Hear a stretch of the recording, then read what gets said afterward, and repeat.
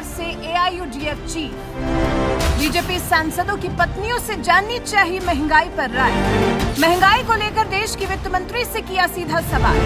देश में रोज़ाना के तौर पर बढ़ता महँगाई का स्तर आम जनजीवन को अस्त व्यस्त किए हुए आम आदमी सोच में है कि इस महँगाई के दौर से आखिर कैसे निपटा जाए?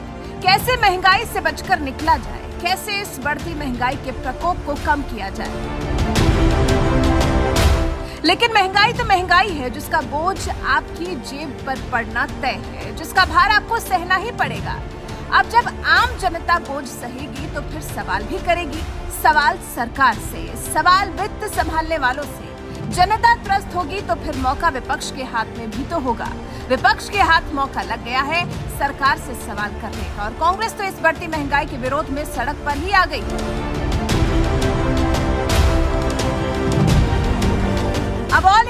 यूनाइटेड डेमोक्रेटिक फ्रंट के अध्यक्ष मौलाना बदरुद्दीन अजमल महँगाई को लेकर केंद्र सरकार को आड़े हाथों लिया उन्होंने महँगाई के मुद्दे पर पहले तो देश की वित्त मंत्री को घेरा। वित्त मंत्री निर्मला सीतारमण के लिए एआईयूडीएफ के अध्यक्ष मौलाना बदरुद्दीन अजमल ने कहा, भारत का पैसा वित्त मंत्री के पास है। उन्हें कैसे पता लगेगा कि एक आम आदमी कितना खर्च करता है? सीतारमण जी वित्त मंत्री है। सारा पैसा उनके पास है। वो रिज़र्व बैंक के मालिक है।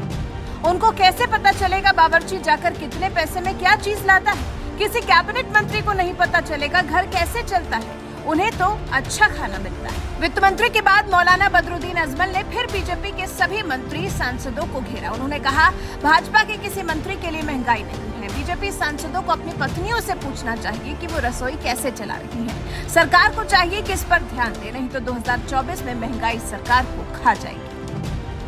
एक तरह से मौलाना ने केंद्र सरकार को 2024 के लिए चेता दिया। बढ़ती महँगाई को बीजेपी को फिर से सत्ता में आने के लिए खतरे की घंटी बता दिया है। मौलाना ने कहा, महँगाई आसमान छू गई है। कुछ समय पहले महँगाई महँगाई करके ही भाजपा सत्ता में आई थी। अब गरीबों की कमर टूट गई। महिलाएँ घर नहीं चला पा रही। गैस सिलेंडर मिल नहीं रहा है। डीजल के दाम आसमान छू रहे हैं। बाज़ार में सब्ज़ी, दाल, चावल सब महँगा हो गया है। सौ प्रतिशत से ज़्यादा महँगा हो गया है।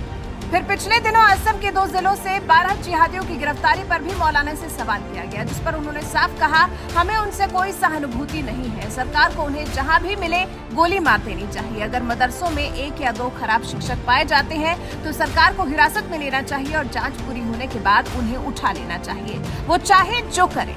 कुल मिलाकर मौलाना ने बढ़ती महँगाई पर तो सरकार को घेरा ही, साथ ही कई मदरसों में आतंकी गतिविधि का जरा भी समर्थन करने से मौलाना ने इनकार कर दिया है। बल्कि शूट एट साइड की बात कही है। वैसे आप मौलाना की बातों से कितना इतफाक रखते हैं महँगाई पर? वित्त मंत्री का तो छोड़ दीजिए, लेकिन क्या अगर बीजेपी सांसदों की पत्नियों से पूछा जाएगा तो क्या वो महँगाई से त्रस्त दिखाई देंगी?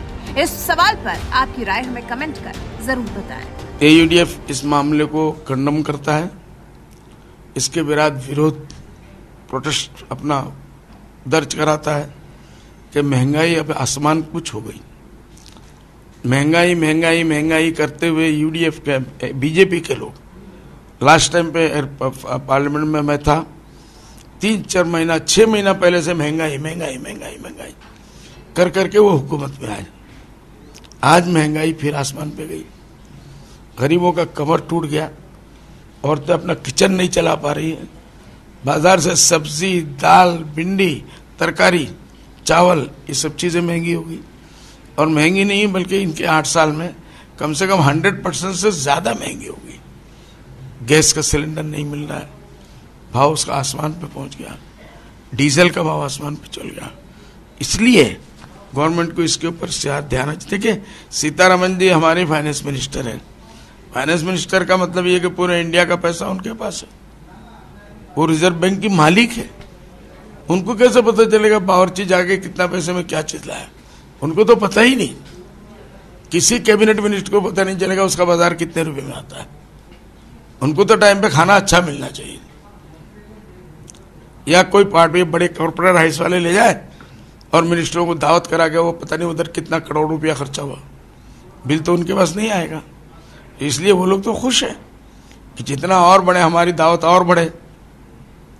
इसलिए सीतारामन जी ने अगर किया है, कहा है तो उनके जगह पे उनकी चीज़ सच है क्योंकि उनको तो फ्री मिल रहा है। वो महँगाई की क्या बात करते हैं?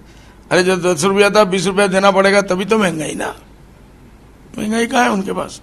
किसी मिनिस्टर के लिए महँगाई नहीं है। मैं तो बोलूँगा बीजेपी के एमपी लोग जिनको अपना घर का पैसा खरीद के खाना पड़ता है, वो इंसाफ से अपनी बीवियों से जाके पूछे वो किस तरीके से अपना किचन चला रही है। तो इसलिए ये बहुत बुरा साइन है। मोदी जी गवर्नमेंट जो है, इसके ऊपर ध्यान दें, नहीं तो ये महँगाई सो सकता है।